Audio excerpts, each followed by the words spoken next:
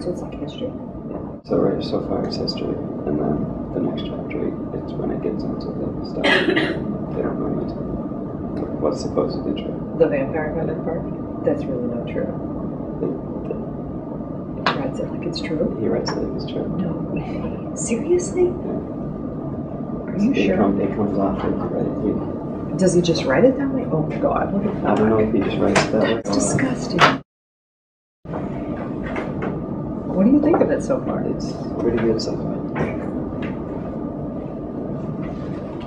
Oh, he wrote Pride and Prejudice and Zombies.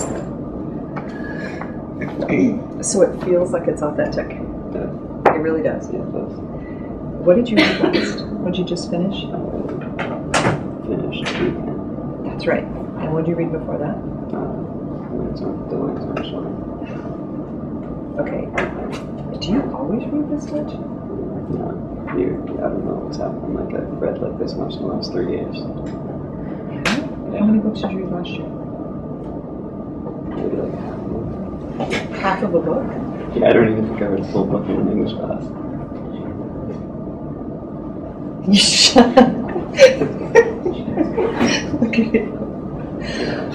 We're gonna ignore him. I'm glad he's off camera. I had lit and I think I read like half of No Country for Old Men and I didn't read any of the other ones because they didn't interest me at all. What did you read in 10th grade?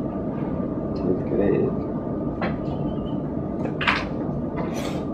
Whatever the required reading was, I think I read a couple books there. Lord of the Flies, maybe? Yeah. Hamlet?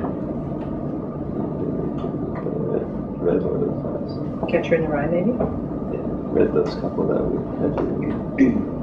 And you didn't read on your own? Um, I very seldom read on my own. Yeah? But you've been reading this year.